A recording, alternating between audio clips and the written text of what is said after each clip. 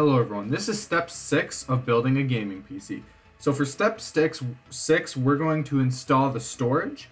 So all we do for this is you get your hard drive and your SSD. So your hard drive, depending on what kind of case you have, you will uh, screw it into the case itself or into a bay and then slide it into the case. For this case, we actually screw it into the back of it. And as you see here, mine can either go on the back right there or underneath under where it is right now. But I decided to put it on the back. So you're just going to screw it in with the screws that it, that the hard drive comes with. And after that, you're practically done with the hard drive for now. After you're finished uh, screwing in and um, setting in the hard drive in place, you're then going to install your SSD, if you have one that is.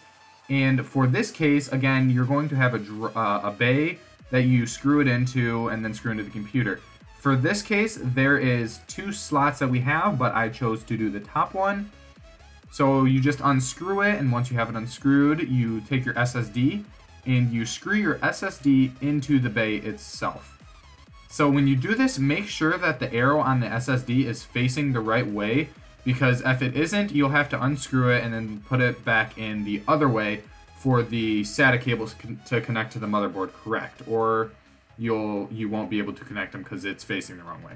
So after you have the SSD screwed into the bay, which you'll get those screws with the SSD, uh, you're just going to put the uh, SSD in the and the bay back into the PC where you got it, and then you're just going to screw it back into place with a screw or whatever was holding it in place. So after you finish um, screwing that in, you're then going to connect, to connect the actual SATA cables themselves to the uh, storages. These are what allocate the storage to the motherboard and to the everything.